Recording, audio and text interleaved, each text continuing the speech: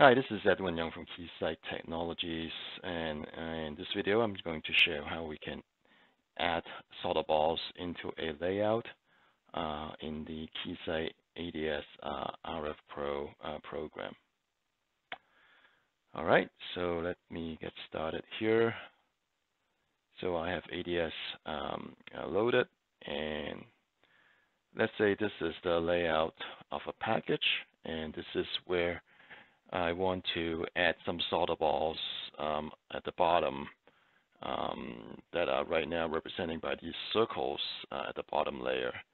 So if I kind of flip this into a three-dimensional view, you see that, you know, uh, right now the solder balls in this representation is represented by these, you know, grayish color cylinders. And um, and the idea here is to um, when I send this layout to RF Pro program, I want to uh, use um, circular solder balls instead of these uh, cylinders uh, for the electromagnetic simulation. Um, so before we do that, there is a few pieces of information we need to get uh, from this layout. Uh, one is the um, X and Y dimensions um, from center to center of each of these solder balls. So what I'm going to do is I'm going to measure um, the distance from center to center of one of these balls. So I started from here uh, using, you know, insert and measure and, um, you know, put it in a circle and then, you know, automatically, it will automatically snap into the center of the uh, adjacent circle and one click, it will show that it has it, it's a distance of 800 microns. So we need to kind of remember that for the um, x uh, axis center to center spacing. So let me do the same thing for the y-axis. Uh, do this, snap, click, and that's another 800 microns. So it's basically 800 by 800 microns on um, x and y dimension. All right, so we have that. Now, the next thing is to try to figure out um, what is the height of this solder ball needs to be. So basically, I need to figure out, you know, what's the height, you know, of this cylinder right now. So one way of doing that is to open up a um, substrate stack uh, for this layout. So I'm going to come in here, bring up the substrate, and I know the solder balls are in this PKG BT balls uh, layer. It's a via.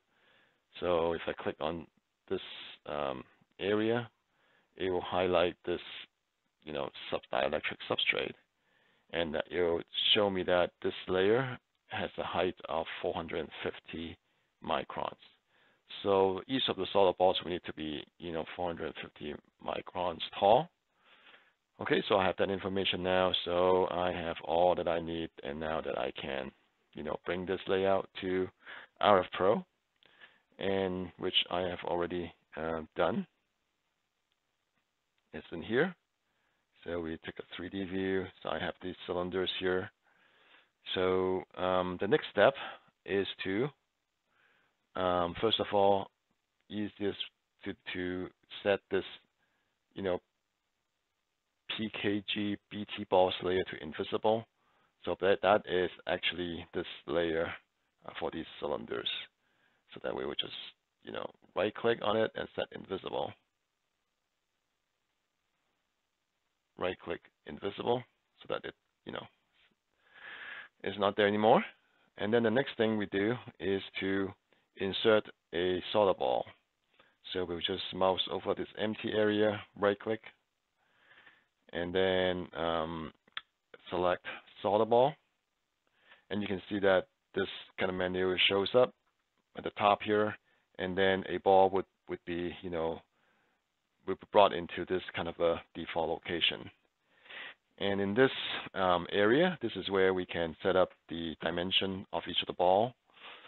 And since it remembered the last time I did it, um, it remembered the height of 450, but you can actually change it to whatever you want. Let's say 200.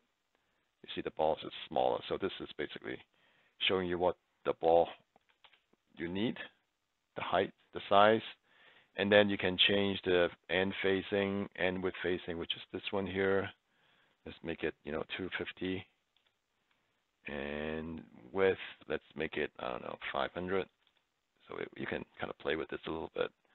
The number of divisions, uh, arc resolution, things like that.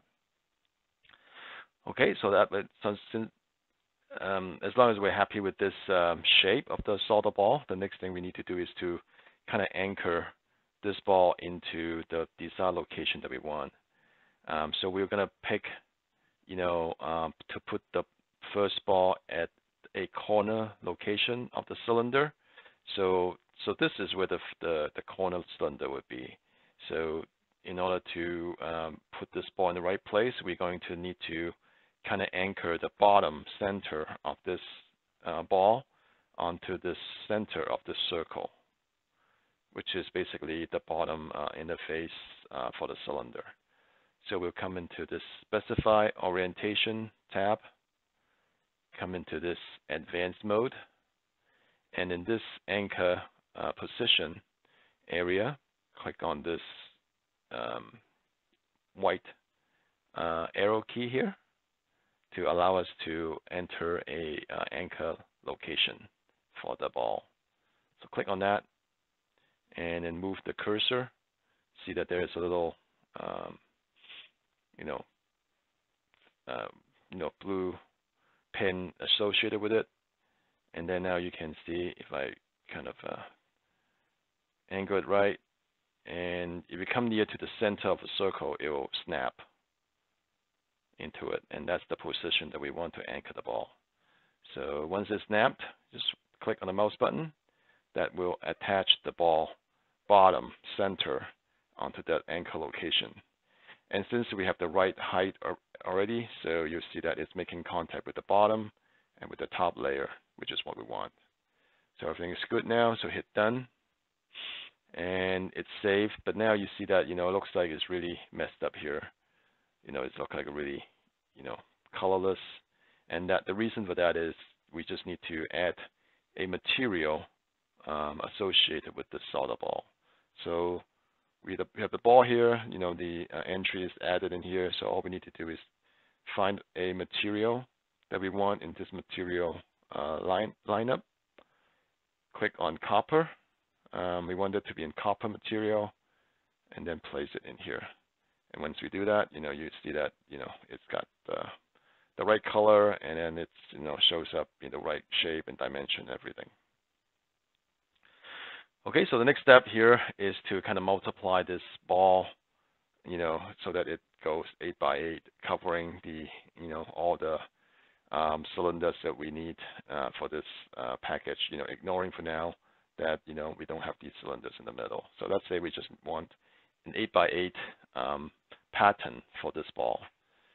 So to do that, we'll just come back into this solder ball, right click, and do create pattern, select linear rectangular, and then a menu will come up at the top here, which allow us to identify, spe specify the X and Y um, center to center um, distance uh, for the solder balls pattern, as well as the uh, number of rows, you know, in both X and Y to do this pattern. So, and it remembers what I did last time. So I already have, you know, 800 by 800.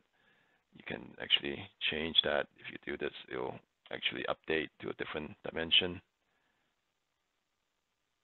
You see that it's kind of, you know, change. But we already know that it should be 800 in the X, X axis um, 800 for the y-axis, so let me do this. And then the um, number of instances should be 8 on the x-axis and 8 on the y-axis. So if we do that, you see that it's all lined up properly. Each one uh, lined up to the cylinders, and then we hit done. And that should uh, do it. Then we should have, um, you know, all 8 by 8 uh, balls um, associated with this package. So um, for so we added the solder balls, but remember we need to if we want to run the simulation, we want to if we want to use the solder balls instead of the uh, cylinders, we need to make sure that we will come into here, make sure that this is uh, unchecked so that it is not including in the mesh um, for this PKG BT ball layers. And then for the ball layers, we need to make sure that it is included in mesh. So when you do the simulation, the balls will be meshed and not the cylinders. And then finally, um, this uh, what I'm using is um, ADS 2021 version. Um, in order to um, uh, for this uh, ball, solder balls to show up, um, we need to turn on um, this uh, beta functionality option. So this is actually a beta uh, function. So um, we need to go to Tools, Options, and check this Show Beta Functionality um, checkbox for this uh, menu to come up. So if you um, if you want to try that, go ahead and open up ADS 2021, um, bring up RF Pro, and then Tools Beta, and check this box and then restart ADS. The next time you come back to RF Pro, you'll be able to, when you right click here, you'll see this uh, menu for you to add the solder balls. Okay, so that's it. That's, um, uh, you know, hopefully that's a, a, way to show how um, we can add solder balls onto a layout in um, RF Pro. And let me just um, bring back our slide here.